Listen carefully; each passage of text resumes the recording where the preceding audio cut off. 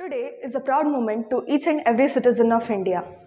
The Chandrayaan 3, which was launched on 14th of July at uh, Sriharikota, Andhra Pradesh, has now successfully landed on the south pole of the moon. This indeed is a remarkable achievement for our India. India has been filled and overloaded with people who have great minds and they are extremely intelligent and clever. These people are the main reason for the success of our country. Our citizens of India have been scattered throughout the world who constitute various big agencies like NASA and many more which are responsible for our growth. India has always been a country which, which is developing at a constant rate. Our country can reach even remarkable uh, heights if it tries more.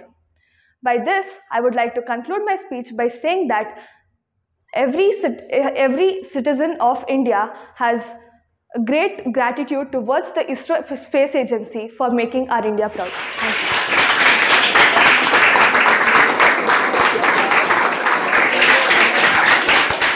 Chandrayaan 3 is a very proud moment for all Indians.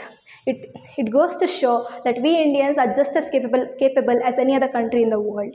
This goes to show that we all have a very strong potential, potential in us and ISRO is inspiring thousands of youngsters around India and teaching them that they, they, have, they have a lot of potential in them and they just need to unlock it because we, because we citizens are the next astrophysicists and the next scientists at ISRO.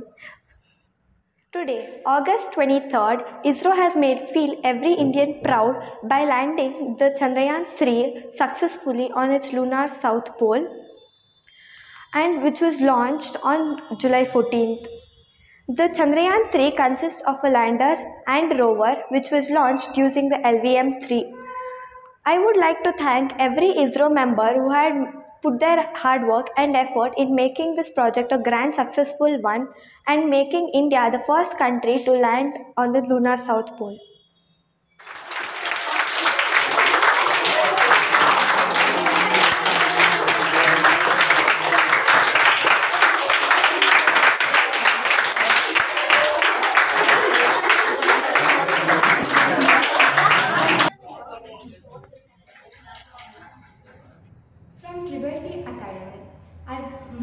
Pleasure to declare that we had a great success today.